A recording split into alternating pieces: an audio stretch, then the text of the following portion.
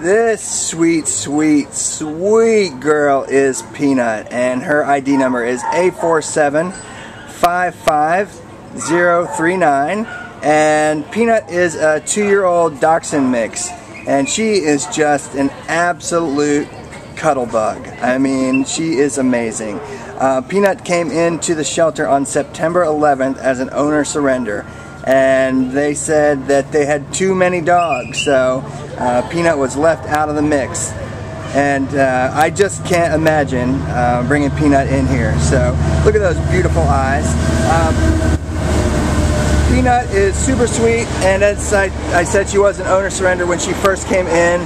Um, we first saw her today, she was really timid, but she's opening up right now, and she's just going to continue to open up. And a different environment. A lot of times with an open uh, owner surrender, these dogs don't understand why they're here, why they were brought here, and um, they have to watch their owners walk away from them. But um, she is just an amazingly sweet girl. She's ready to find that home, somebody who uh, will never put her on the too many dogs list and uh, will keep her for the rest of her life.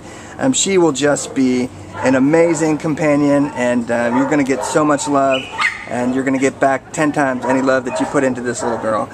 So if you're looking for a sweetie pie, uh, we have her here. Her name is Peanut. Just come down and see her at the Baldwin Park Shelter. Take her home with you. She's ready to go. Right, Peanut? What a sweet girl.